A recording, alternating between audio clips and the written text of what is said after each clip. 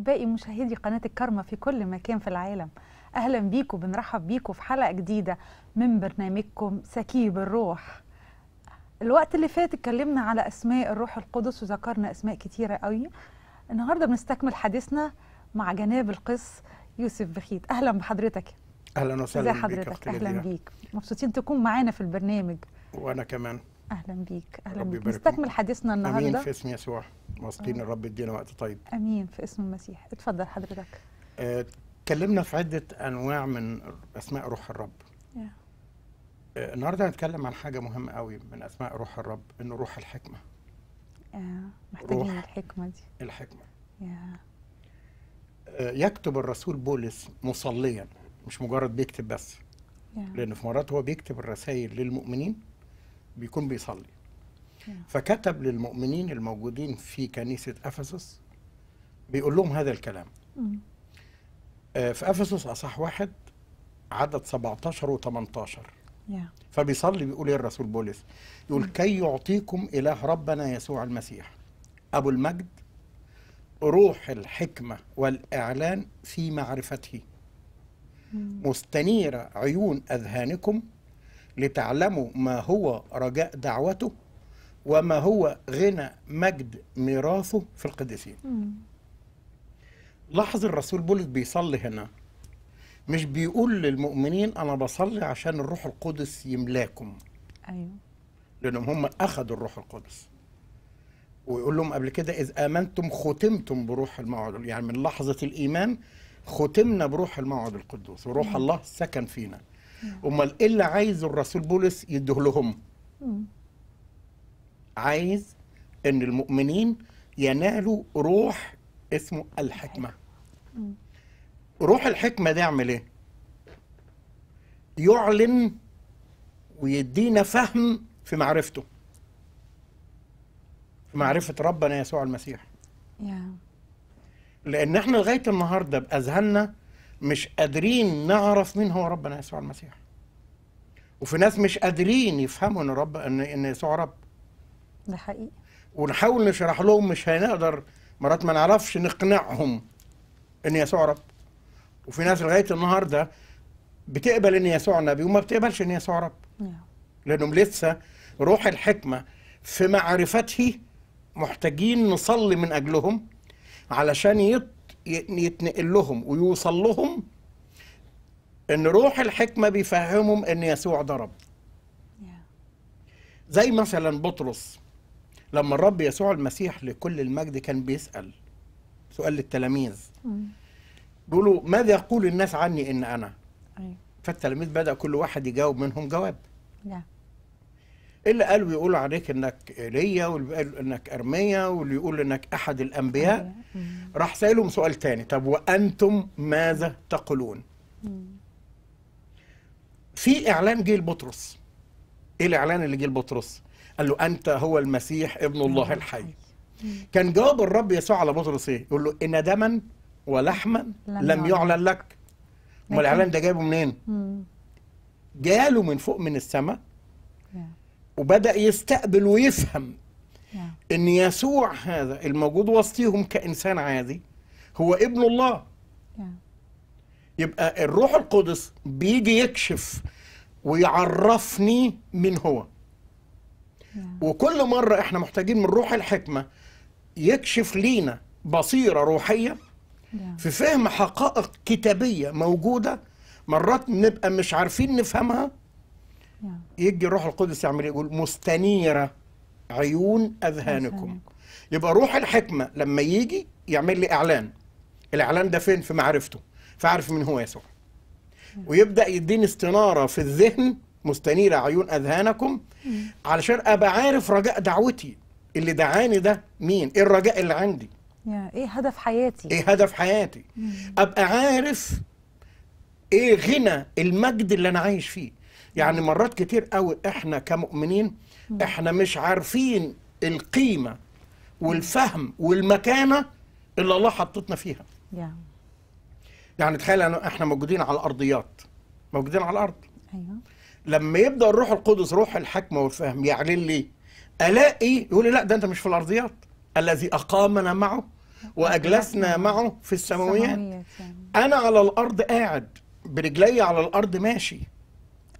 لكن روحي ومقامي ومكاني موجود في السماويات؟ والسماويات بتيجي القلب تبقى موجودة. فلو أنا سألت الناس وسألت حد أقول له ملكوت الله فين. واحد يقول لي في السماء واحد ممكن يقول لي في الفردوس. أو لسه هنعيشه لسه أو, بعدين. أو, أو, أو إلى آخره. آه. لكن انت الرب يسوع ليه؟ ملكوت الله في داخلكم. أيوه. إيه الإعلان ده؟ يبقى روح الحكمة يجي يعمل إعلان جوايا يعمل استنارة جوايا. يفتح عننا حقائق كتيرة. يعني مرات كتير وإحنا بنقرأ وأعتقد أنت ده بيحصل معاكي. تبقى الآية دي قريتيها قبل كده؟ آه. الله الآية دي أنا ولو كأني لسه أول مرة اراها. وكأنها لسه جديدة عليا. يبقى روح الحكمة يديني فهم وبصيرة واستنارة في ذهني أبدأ أفهم حكمة الله. مش كل حكمة الله لأن الله كلية الحكمة. طبعا. لكن بيعلن ليا بحسب المساحة اللي أنا بديها. عشان كده إحنا كخدام وكمؤمنين بنصلي من أجل كل العالم ومن أجل كل المستمعين وبنصلي من أجل كل القديسين في كل كنيسه إن روح الحكمة والإعلان يجي ويملأ المؤمنين. هذا ما أصليه كي يعطيكم إلى ربنا يسوع المسيح أبو المجد روح الحكمة والإعلان في معرفته. مرات كتير أصلي وأطلب من الروح القدس أقول له عرفني بيسوع أكتر. أيوه. عرفني بأعماق روحية أكتر. وأنا عمال في الكتاب المقدس وأقرأ وأصلي أقول للرب عرفني الحقائق والأسرار اللي موجودة في كلمتك. لأنه قال أعطي لكم أن تعرفوا أسرار ملكوت. السماوات أو ملكوت نعم. الله. يعني الكتاب المقدس الملكوت ليه أسرار. يا. الأسرار دي مين يكشفها لي؟ مين يعلمهاني روح الحكمة. يجي يبدأ يديني بصيرة وفهم ويديني نافذة للمستقبل كمان. يا يا. يعني قول في سفر الأمثال. أحب أقرأ الشاهد ده كويس قوي. أمثال ثلاثة من عدد 13 لعدد 19 اسمع يقول إيه؟ طوبى للإنسان الذي يجد الحكمة. يا. مش يتعلم الحكمة يجد الحكمة. لأنه الحكمة ده شخص شخص الروح للحكمة ده شخص المسيح. للحكمة ده الروح القدس. يا. وبعدين وللرجل الذي ينال الفهم. يبقى الراجل اللي يجد الحكمة ده مطوب ولما يجد الحكمة ينال فهم. يا الحكمة روح الحكمة لما يوصل ليا يبدأ يفهمني الحاجة اللي أنا مش فاهمها. يديني رائع. استيعاب. رائع. وبعدين يكمل لأن تجارتها يا. تجارة الحكمة. أيوه. خير من تجارة الفضة. أيوه. وربحها خير من الذهب الخالص. يعني لما نقول لحد ده بيتاجر في الذهب. أكيد ده رجل يعني بنقول بيشتغل في الذهب. أيوه. الحكمة أقوى وأعظم من الناس مع احترامنا ليهم وتقديرنا أفضل من تجارة الذهب. يكمل ويقول هي اثمن من اللآلئ يا. وكل جواهرك لا تساويها واو. تخيل كل الجواهر قدام حكمة الله قدام روح الحكمة من لا يملك حكمة الله حتى لو ملك كل جواهر العالم فهو ليس حكيم وهو ليس فهيم. يكمل يقول في يمينها في يمين الحكمة. طول أيام. يعني الحكمة تدي طول أيام. لأن بتعرفني الحق والمستقبل وفي يسارها الغنى والمجد. طرق الحكمة لما تمشي فيها طرقها شوارعها. طرقها طرق نعم. يعني تخيلي لما أنا أمتلئ بروح الحكمة يبقى كل طرقي مليانة نعم مليانة خير مليان مسرات كل مسالكها سلام يا. يعني الحكمة كمان المسالك ليها سلام أيوة يقول عنها هي شجرة حياة لممسكيها. والممسك بها مغبوط. سعيد. الرب بالحكمة أسس الأرض. أثبت السماوات بالفهم. يبقى عندما تعمل الحكمة في حياتنا إيه اللي يحصل لنا؟ نمتلئ بالسلام. نمتلئ بالغنى. نمتلئ بالهداية. يسدد أعوازنا. عندما نمتلئ بالحكمة نمتلئ بمعرفة المسيح. عندما نمتلئ بالحكمة نمتلئ باستنارة حقيقية في أذهاننا. عندما نمتلئ بالحكمة عندما نقرأ الكتاب نفاجأ أن عندنا فهم جديد. وكأنه بيتم كلام الكتاب يخرج من من كنزه جددا وعتقاء. عتقاء يا. تعال النهارده ممكن أنا كخادم بتكلم ويجي خادم تاني يتكلم عن روح الحكمة. أنا هتكلم كلام جديد وهو ممكن يتكلم كلام تاني مش مختلف عني. هيقول كلام جديد تاني عن روح الحكمة. وممكن أسيس رابع وخامس وتلاقي الله إحنا بنتكلم عن روح واحد بس في كل مرة بنتكلم بنتكلم بمعنى جديد بطعام جديد بفهم جديد ببعد جديد لأن روح الله ما أوسع أحكام الله عن الفحص وطرقه عن الاستقصاء. عشان كده الله صالح. ويعجبني الرسول يعقوب. بيحد المؤمنين. يقول من يعوزه حكمة. أيوه. فليعمل إيه؟ فليطلب. فليطلب. الرسول يعقوب يسمي حكمة الناس. يسميها الحكمة الإنسانية الجزدانيه النفسانية بس في الآخر الشيطانية. شيطانية. مم.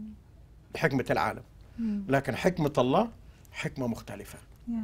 فالنهاردة أنا بصلي للروح القدس روح الحكمة.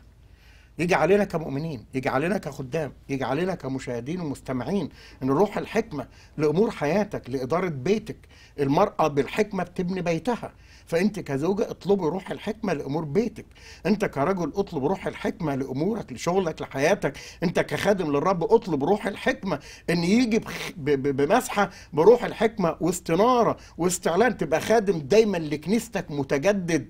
دايما رايح مليان بروح جديد بحكمة جديدة باعلان جديد. بتقدر توصل الحق لكل الناس لأن ده روح الحكمة.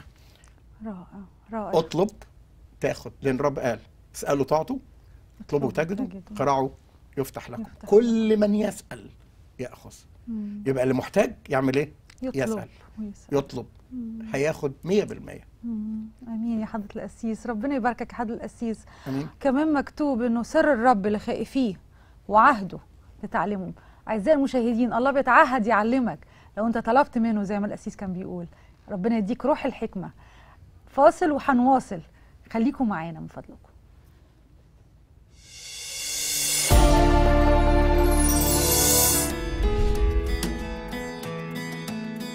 شكرا لمتابعتك لهذا البرنامج. إذا كان لديك أي سؤال أو استفسار أو إن أردت الحصول على إحدى حلقات هذا البرنامج يمكنك الاتصال بنا على 714-709-4300 أو ارسل لنا على البريد الإلكتروني info at كما يمكنك زيارة موقعنا الإلكتروني www.elkarmatv.com أو راسلنا على PO Box 3610 سيل بيتش كاليفورنيا 90740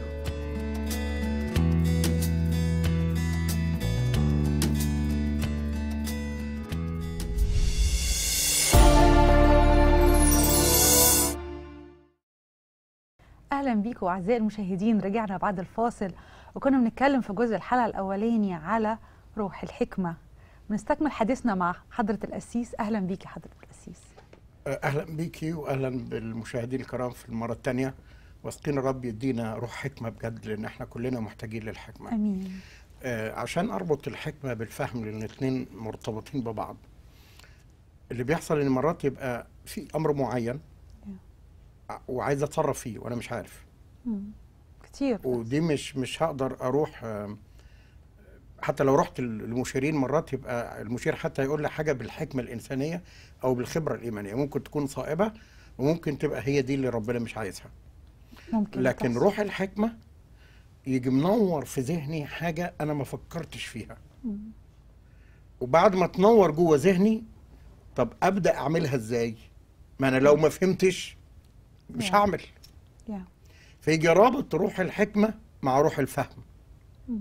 فأبدأ أفهم الإعلان أو النور اللي وصل لذهني مش بحكمة من الناس مش بمعرفة من الناس يعني خليني أقول لك على حاجة في مؤمنين كتير قوي بيملكوا مواهب روحية مم. ويملكوا مواهب فائقة للطبيعة مم. بس تيجي تكلميهم مثلا في فهم الكتاب تلاقي فهمهم محدود. وأفكارهم محدودة. ومعرفتهم في الكتاب محدودة. مم. مؤمنين حلوين قوي وبيحبوا الرب قوي وموجودين في الكنائس. بس فهمهم في الكتاب إيه؟ بسيط. قليل. قليل. وممكن يقرأ الكتاب يعني ممكن يكون بيقرأ. يعني أعرف ناس كتير مؤمنين بيقروا الكتاب ويقرأ الكتاب في سنة ويقرأ وعمال يقرأ. بس لما تيجي يقول لي الله طب أنا عم أقرأ ومش فاهم ليه. هو بيقرأ الكتاب. مرات ناس يقعدوا معايا أنا كخادم يقول طب حضرتك الاسيس طب إحنا بنقرأ الكتاب زيك بس مش عارفين نفهم هل لأنك أنت دارس لاهوت. طبعا الدراسة دي حاجة مهمة قوي طبعا. وبيحض الرسول بولس على لتيموثاوس يقول له إنه يواظب أو يعكف على القراءة والوعظ والتعليم لأن ده مهم طبعا لكن في استنارة خاصة يديها الروح القدس وفهم خاص مش هلقاه في الكتب يا. فعشان كده الرب لكل المجد طلب مننا والرسول بولس بيصلي علشان يجي استنارة وفهم الاذهاننا مرات كتير أحبائي كلنا مرات بنقول وأنا أنا واحد كنت مرات بقول عزيزي المشاهد مرات أنا كنت بقول على نفسي أنا مش فاهم ومش عارف أفهم. أنا دي امكانياتي ومقدرتي كده. أشكرك لأن دي حقيقة أنت بتقولها. ومش هتجيب أكتر من كده وأنا مش هجيب أكتر من كده فهم ومعرفة. بس أنا عندي روح الله. أيوه. لأن عندي روح الله مستمع الكريم أختي الغالية أنا لما نيجي نطلب من الرب الفهم يوسع مداركنا حاجة إمكانية مش موجودة جوانا. روح الله اللي فينا يبدأ يشتغل في أذهاننا ويعمل لها استنارة علشان نبدأ نفهم. عشان نبدأ ندرك وعشان نقدر نستوعب. في مواقف كتير في كلمة الرب نقدر نفهم بيها. فمثلا يقول في إنجيل متى لما الرب قال خرج الزارع ليزرع؟ أيوه. وضرب مثل الزارع. وحكى مثل الزارع للناس. والتلاميذ كانوا حاضرين. لما رجعوا التلاميذ في جلسة خاصة يقول لهم أعطي لكم أن تعرفوا أسرار ملكوت الله. فبدأ يعمل إيه الرب؟ يشرح ليهم ويفسر ليهم المثل. فراح قايل لهم كل من يسمع كلمة الملكوت ولا يفهم خدوا بالكم من الحتة دي قوي. راجعها معايا إنجيل متى؟ صح 13 عدد 19 مم. كل من يسمع كلمة الملكوت ولا يفهم فيأتي الشرير ويخط ويخطف ما قد زرع في قلبه. هذا هو المزروع على الطريق. يعني إيه؟ يعني في ناس يسمعوا الكلام بس ماله؟ مش فاهم. طب لما ما يفهمش إيه اللي يحصل له؟ الكلمة اللي أنا سمعتها إبليس يجي ويخطفها. عشان كده الرب عايز لما شرح الكلام ده عايز يفهم التلاميذ ان أنا لو ما طلبتش من روح الحكمة والفهم يجي يفهمني أنا ليا شرير في عدو شرير قبالي هيعمل إيه؟ الكلمة اللي اتحطت جوايا وسمعتها أو قريتها للأسف الشديد إبليس هيخطفها مني. وده مرات كتير ناس بيقولوا كده. إحنا بنقرأ الكتاب المقدس ومش فاهمين. إحنا عمالين نقرأ ومرات نسمع عظات ونسمع الوعظة. نبقى فاهمينها وإحنا قاعدين في الاجتماع. تطلع من الكنيسة أو تطلع من ال من ال من, ال من, ال من القعدة الروحية. أقول أنا مش فاهم. طب هي كانت إيه الوعظة اللي فاتت مش عارف. طب هو الأخ فلان أو الاسيف كان بيتكلم عن إيه؟ مش فاهم.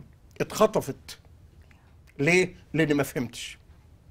لكن لما أطلب من الروح القدس وأقول له تعالى اديني الفهم. يبدأ الروح القدس يعمل إيه؟ فهمني. يفهمني.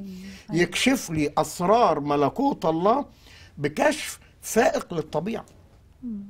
يجي إعلان لروحي. حاجة جوايا بحسها. لأن الروح القدس قوة موجودة يتعامل مع روحي. زي ما أنا إنسان نفسه روح وجسد تقدر تفصلي لي في نفسك لوحديها وفي روحك لوحديها وفي جسدك لوحده؟ لا طبعا. كله. كله مع بعض. لكن أنا كل مع بعض. يا. فلاقي إن الروح القدس اللي موجود جوايا بيبدأ يديني استنارة. يقول الرسول بولس في رسالة افس صح ثلاثة من عدد ثلاثة يقول إنه بإعلان عرفني. السر. بمعنى إيه إعلان يا حضرة القسيس؟ يعني نحب نعرف كلمة إعلان. آه، أقول لك إعلان. إحنا مرات بنتفرج على التلفزيون وبتيجي إعلانات. آه. في منتج معين وبيعلن عنه. آه. أول ما بيجي الإعلان مرة واتنين ويكون إعلان جديد الناس تقعد تركز وتسمع الإعلان وتسمع العرض وتبدأ تفهمه. عجبها؟ بتاخده. ما عجبهاش؟ ما بتاخدوش. الروح القدس مع فرق التشبيه. يجي بإعلان ولو كأنه في تلفزيون وأنا مش شايف قدام عينيا بس جوه فكري وجوه أعماقي بيعلن عن حاجة جميلة قوي مش موجودة عندي. ما كنتش أعرفها قبل وما كده. كنتش أعرفها قبل كده. فيبدأ بإعلان. الإعلان ده ما كانش موجود. يعني لما الرسول بولس يقول وبالإجماع عظيم هو سر. سر التقوى الله ظهر في الجسد. رسول بولس هنا إنه بإعلان عرفني السر. إيه السر اللي عرفه بولس؟ إيه الإعلان اللي عرفه؟ لأن بولس كان بيضطهد المسيح. وكان بيضطهد تلاميذ المسيح. وكان واقفا عند رجم اسطفانوس وكان راضيا بقتله. لما الرب اتكلم معه وقال له شاول شاول لماذا تضطهدني؟ إعلان. قال له من أنت؟ قال له أنا يسوع. أنا بضطهد بطرس وتوما ومتى ولوقا ويوحنا دول أنا بضطهدهم. أنا ما جيتش عندك. أنت بالنسبة لي مت على الصليب وخلاص قصة وخلصت. وال- والمسيحيين دول ضلالة بيقولوها وكذبة بيقولوها وأنا كراجل يهودي متشدد عندي غيرة تجاه ديني فأنا مش عايز الطريق ده. فأنا بقود الناس اللي بيتبعوا الطريق ده للاضطهاد والموت لأن أنا عندي غيرة تجاه ديني اليهودي. لما أعلن له كشف السر. إنه بإعلان عرفني بالسر كما سبقت فكتبت بالإيجاز الذي بحسبه حينما تقرؤونه تقدرون أن تفهموا درايتي بسر المسيح. آه. بدأ يدرك مين هو المسيح. بدأ يبقى عنده دراية وعنده فهم. الأول ما كانش فاهم. مع إنه كان يتلمذ على إيد غملائيل يعني كان معلم كبير راجل فصيح أوي. متعلم بكل بكل علم وليه. شخصيته. فده معناه إنه ممكن أكون. متعلم وأكون وزير وأكون في منصب عالي قوي قوي لكن أنا محتاج روح الفهم يجي ويفهمني ويعلمني. دي حقيقة. ويعلن لي حاجات مش جديدة. مرتبط بشهادته العلمية إيه؟ بالظبط كده. لا. لأن وما إلا ما يكونش بحاجة من روح الله. ما لو علم يبقى أقول للناس روحوا من فضلكم في مدرسة العلم للفهم روحوا اتعلموه خدوا هناك بكالوريوس ولا دبلومة ولا ماستر ولا دكتوراه في الفهم. أو في الحكمة. بطرس كان شخص صياد سمك يمكن ما كانش بيعرف يقرأ ويكتب لكن قد إيه آه، وقف في وعظة واحدة جاب 3000 نفس. لا وفي تصرفات تانية تصرفها بحكمة. كتير. فالفهم هنا إعلان بعرف. يبقى الله أعلن لي والرسل القديسين والأنبياء فكشف لهم السر. مم. عشان كده مهم قوي إن إحنا نقرب ونطلب من الرب علشان يكشف. فلما فتحت الأذهان تستنير المعرفة. يا. برجع أأكد وبركز وبقول للناس وبقول ليك وبقول لكل وبقول ليا إن أنا محتاج لروح الفهم. في أمور في كلمة الرب مرات أقراها. وأبقى مش فاهمها أنا في آيات مرات وقفت معايا في الكتاب المقدس مش فاهمها وابتديت أقرأ كتب ومعظم تفاسير. المفسرين سامحيني لقيتهم بيهربوا. منها يا أنت كتاب فمش قدام الكاتب علشان أناقشه في الحتة اللي أنا عايز أفهمها. مش لاقي. مش فاهم مم. فأبدأ أروح أسأل بعض خدام مرات كانوا يجاوبوا لي الخدام بس مش قادر أشبع عقليتي بالحتة اللي أنا لسه محيراني يا. مرات قعدت شهر واثنين وثلاثه. يعوزني الوقت لو حبيت أتكلم عن آيات كتابية وقفت قدامي وما كنتش فاهمها ولما قعدت قدام الرب الرب فهمهاني. ليه؟ لأن روح الفهم يعني مثلا في آية موجودة في رسالة يعقوب يقول الروح الذي حل فينا يشتاق إلى الحسد آه فهل الروح القدس يحسد؟